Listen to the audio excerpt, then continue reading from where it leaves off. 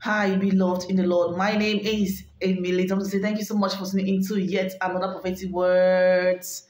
May the Almighty God bless you and keep you safe, sound, and protected. Beloved, you were defending these people.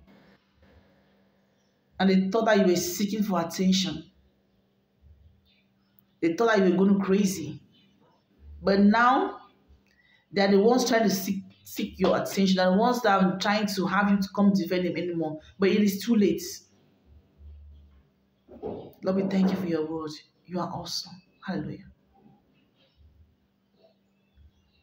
While you were busy defending them, while you were busy standing up for them, while you were busy taking their bullets, they were busy calling you names, telling you how you were seeking for attention.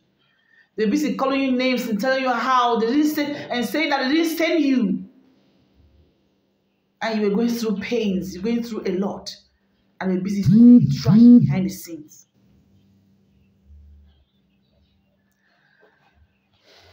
Now they are facing it. They are facing it. And you're no longer there. They are now being left alone. They are on their own now, beloved. They are on their own now.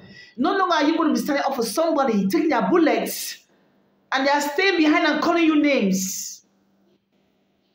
It is over. They are, they are on their own now. They are on their own now. You can't put your face out there, taking all the bullet, taking all the shame, the disgrace.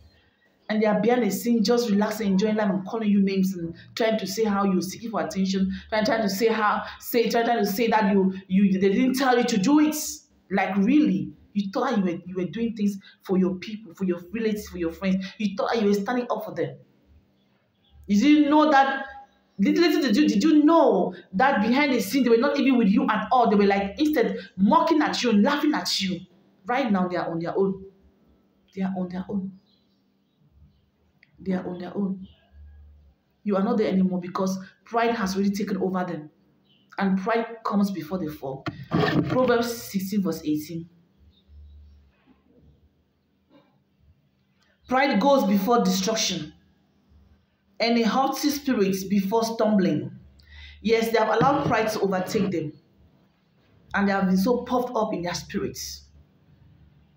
And you, you've taken back your power, your attention from them. And they will have no choice but to face everything all by themselves right now. They will have no choice but to face everything all by themselves right now. You're way gone. You're already gone. They are on their own. In the name of our Lord Yahushua Mashiach, thank you and see you in the next video.